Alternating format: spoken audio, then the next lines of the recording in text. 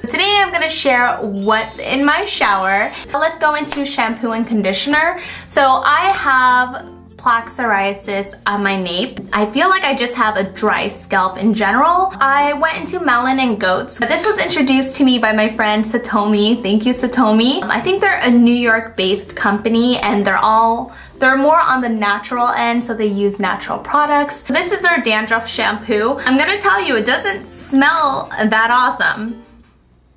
And it just smells medicated, but eucalyptus extract. I think that's what I smell, the eucalyptus. Oh, it is a very gentle shampoo made for sensitive scalps, but I use a shampoo every other day. It's recommended to use at least twice a week. And because I don't like the scent, of course I need to have a good smelling conditioner and my go-to is a Bumble and Bumble Creme de Coco. This is one of my classic favorites and I typically use more conditioner than shampoo anyway so I always go with the bigger size. So I just leave this on the floor of my shower. It just smells so clean and it makes you want to go to the beach or something. Mm. Next is the soap that I have fallen in love with last year. It's a French word and I'm probably gonna butcher the sound of it, but Mistral, Mistral, but it's a luxury brand and I stumbled upon this when I was in Vancouver with Benji. No, we were in Victoria. I was in a gift shop and they had these Mistral soaps and I fell in love with this scent called Lychee Rose. I used up two bars already. I just ordered more from their website because there's not a shop that sells it around me. So I should be getting that soon. But the one I'm using right now is Wild Blackberry. It smells delish, but hands down, Lychee Rose is the best. Mmm. I love me this soap. My mom fell in love with it too, so I ordered her another lychee rose as well.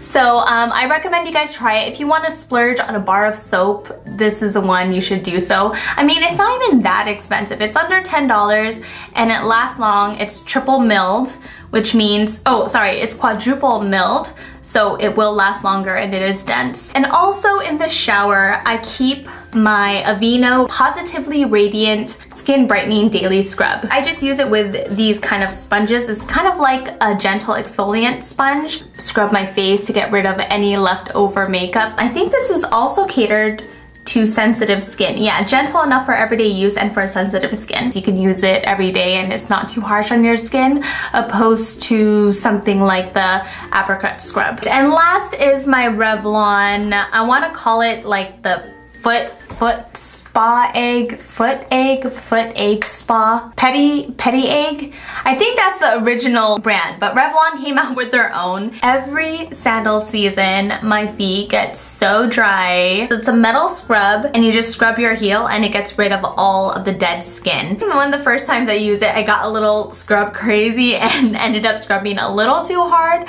It wasn't to the point where I was bleeding, but I was in pain like the rest of the week just even walking. Like it was so my skin was so sensitive.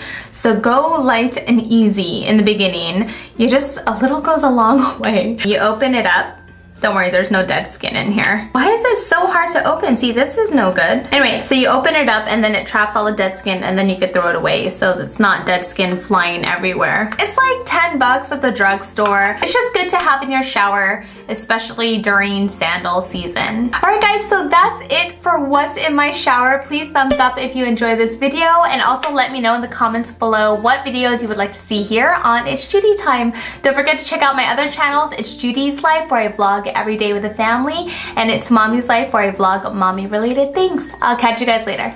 Bye!